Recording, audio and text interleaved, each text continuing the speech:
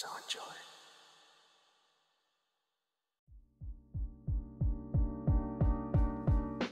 Do you ever wonder, what if there's some way you can see in the night? Because you might have been killed in pure darkness. Or just think, hey, there's a bunch of cheaters. And that just might be the case if you're in the wrong server. Or some other thing you might not be understanding. Right to jail. Well, today I'm going to show you what that other thing might be. And no, no, no, no, no, it's not gonna be some sort of hacks or cheats.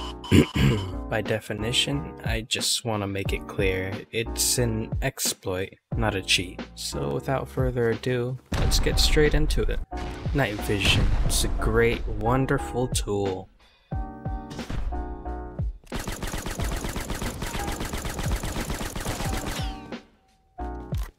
Well, it's a good one sometimes, but it has its drawbacks, like its protection and its distortion. But to be fair, it's supposed to be realistic, but it's just painful to use sometimes. But what if there was a better way to see? What if there was another way? What could have been of the situation? And to you, I say there is another way that doesn't include such a painful thing.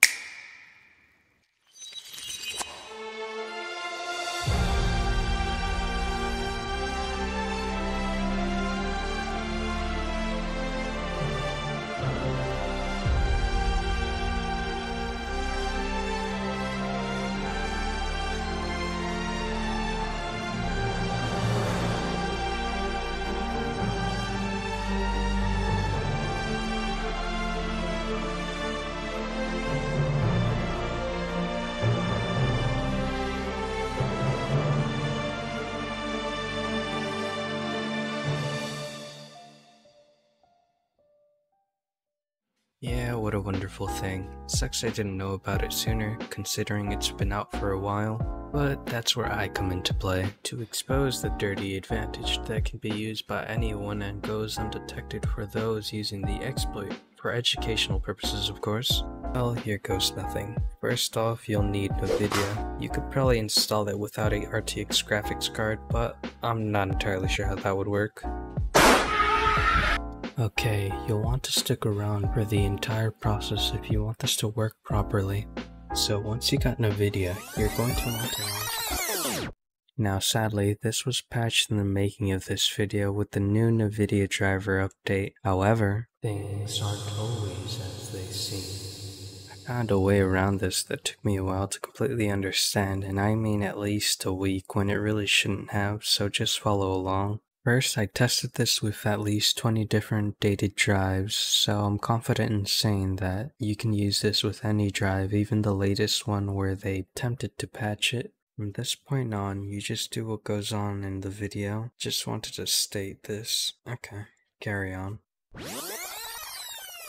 Your game, which will be Rust in this case. Then, once your game is launched, you're going to want to join a server like a sandbox server so you can use a command to turn your rust time into a dark night. Once in, type in this nighttime command, which will be admin time 1, and if it's not nighttime by some off chance, then you'll use different numbers until you get a dark night. Then, the next command you'll type in is admin fog 1. Now things should have gotten really dark. Once you get to this point, you are going to want to open up NVIDIA and check filters. This is where all the magic happens. Alright, now that you are here, go and create a filter style and I'll show you a couple nice ones to see in the dark with.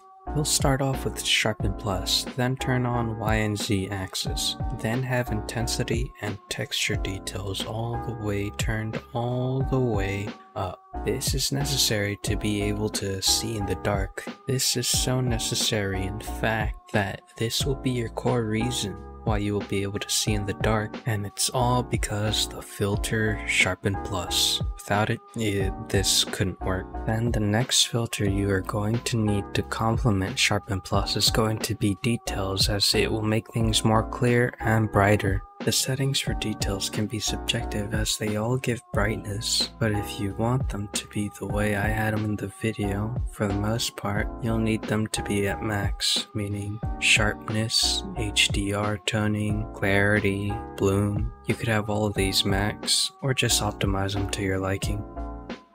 Then you'll be adding the colors filters to change, well, the way the colors look from soothing, yellowish daytime tone, or a green sort of night vision aesthetic, or a black and white approach.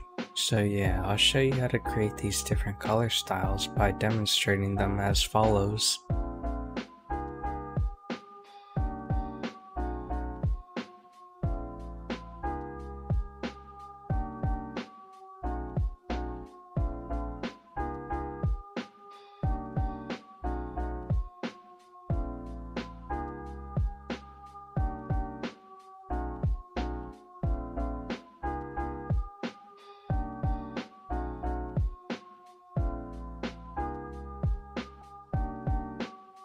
So yeah, you'll just have to play around with the different settings if you want to find the perfect match for you. Or not, you know, you don't have to. Okay, so by now you might have not noticed much of a difference, like shown in some parts of the video where you could see more clear. But this is not the case. Go ahead and look around with the Alt, and you'll come to find it's working, but it doesn't stay in the front. Don't worry, we're getting there. The next step you want to take now is closing your game then relaunching it. Now, when the game is launched, you should see that the NVIDIA filters are automatically on. You might have not noticed much, but things have changed. As soon as you join a sandbox server again to turn the time into nighttime, you'll notice the filters in full effect. Well, congratulations, you know the secret to being able to see at night now, so enjoy it before it gets patched, like the old gamma glitch that Rust had back then that took a while to fix. Another thing I wanted to mention was that when it's dark and only when it's dark out, you'll be able to see in the ocean ground crystal clear as if there was no water, making it easy to find stuff if it gets lost. Also, you can see the fog clear if you turn down bloom all the way down, leave everything else high for details, sharpen plus the way I told you to have it, and colors is not necessary for this. So this is the end of the video. If you watched till the end and enjoyed, please like, comment, and subscribe, as I'll be doing a giveaway at my 100 subscribers special milestone. I'll be sure to keep you guys updated on whether it gets patched via title or doesn't, but you better sub or else. Come on, Santa's got a surprise.